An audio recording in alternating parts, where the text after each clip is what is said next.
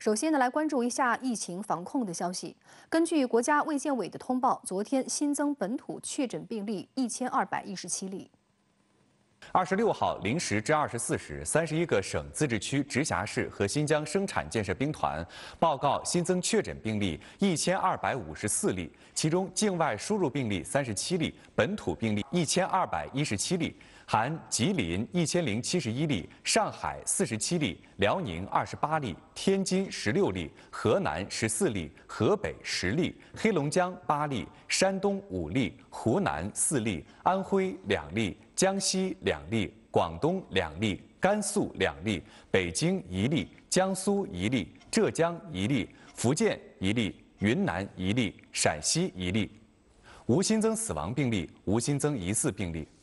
当日报告新增无症状感染者四千四百四十八例，其中境外输入一百一十五例，本土四千三百三十三例，含上海两千六百三十一例，吉林一千零七例，福建二百六十四例，河北一百四十二例，辽宁八十二例，山东六十四例，天津三十例，江苏十六例，安徽十六例，甘肃十四例，云南十二例，江西十一例。广西十一例，河南十例，广东八例，陕西五例，浙江四例，黑龙江三例，内蒙古两例，重庆一例。